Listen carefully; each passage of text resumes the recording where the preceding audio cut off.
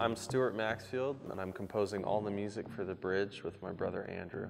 So we're making something that's, that to me feels really new and really explorative. It's this incredibly tense story about a guy who in northern Alabama during the Civil War gets tricked into trying to burn down a bridge.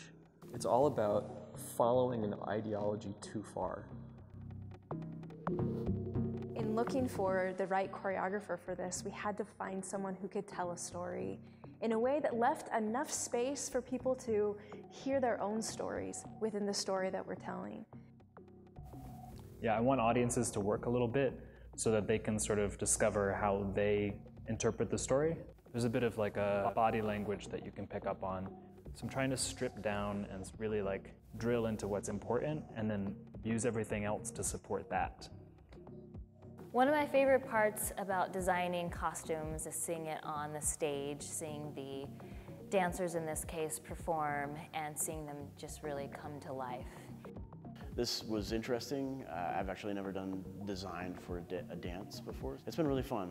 And this has really been trying to create a world. You know, they need the space to be able to tell that story through their movement.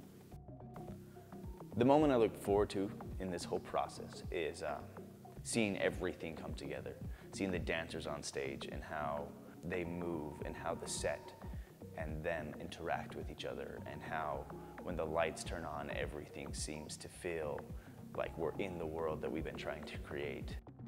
The bridge is more than just a great show to come and see. It's an experience that you're going to have that you have to be there to see it and to feel what these dancers are portraying.